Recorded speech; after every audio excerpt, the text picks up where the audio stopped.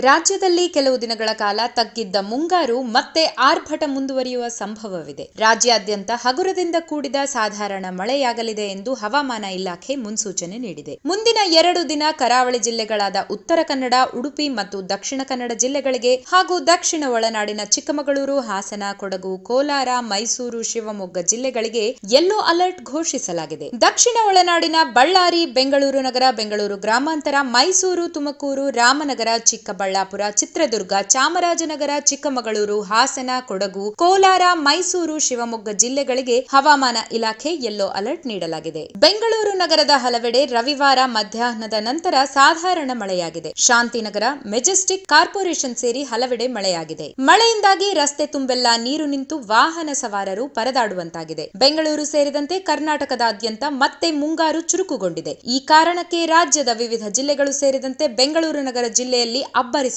ಆಂಧ್ರ ಪ್ರದೇಶದ ಕರಾವಳಿ ಭಾಗದ ಹಾಗೂ ರಾಯಲಸೀಮಾದಿಂದ ಕನ್ಯಾಕುಮಾರಿವರೆಗೆ ಉಂಟಾಗಿದ್ದ ಮೇಲ್ಮೈ ಸುಳಿಗಾಳಿ ತೀವ್ರತೆಯಿಂದಾಗಿ ಮುಂಗಾರು ಮಳೆ ಕರ್ನಾಟಕದ ಒಳನಾಡು ಜಿಲ್ಲೆಗಳಲ್ಲಿ ಸಾಧಾರಣ ಮಳೆಯಾಗಲಿದೆ ಎಂದು ಹವಾಮಾನ ಇಲಾಖೆ ಮುನ್ಸೂಚನೆ ನೀಡಿದೆ. ಸಮುದ್ರದಲ್ಲಿ ಮುಂದಿನ ಎರಡು ದಿನಗಳವರೆಗೆ ಗಾಳಿಯ ವೇಗ ಹೆಚ್ಚಿರುವ ಸಾಧ್ಯತೆ ಇದೆ. ಗಂಟೆಗೆ ನಲವತ್ತರಿಂದ ಐವತ್ತು ಕಿಲೋಮೀಟರ್ ವೇಗದಲ್ಲಿ ಗಾಳಿ ಬೀಸುವ ಸಂಭವವಿದೆ. ಆದ್ದರಿಂದ ಕೇರಳ ಮತ್ತು ಕರ್ನಾಟಕ ಕರಾವಳಿಯ ಮೀನುಗಾರರು ಎಚ್ಚರಿಕೆ ವಹಿಸುವಂತೆ ಹವಾಮಾನ ಇಲಾಖೆ ತಿಳಿಸಿದೆ. ಕರ್ನಾಟಕ ಮಾತ್ರವಲ್ಲದೆ ಗೋವಾ ಆಂಧ್ರಪ್ರದೇಶ ತೆಲಂಗಾಣ, ಗುಜರಾತ್, ಪಶ್ಚಿಮ ಬಂಗಾಳ, ಮಹಾರಾಷ್ಟ್ರ, ಒಡಿಶಾ, ಛತ್ತೀಸ್ಗಢದಲ್ಲಿ ಮಳೆ ಬೀಳಲಿದೆ ಎಂದು ಹವಾಮಾನ ಇಲಾಖೆ ಮುನ್ಸೂಚನೆ ನೀಡಿದೆ. ಹರಿಯಾಣ, ಹಿಮಾಚಲ ಪ್ರದೇಶ್ ಮತ್ತು ಉತ್ತರಾಖಂಡದಲ್ಲಿ ಮುಂದಿನ ಎರಡು ದಿನಗಳವರೆಗೆ ವ್ಯಾಪಕ ಮಳೆಯಾಗುವ ಸಾಧ್ಯತೆ ಇದೆ.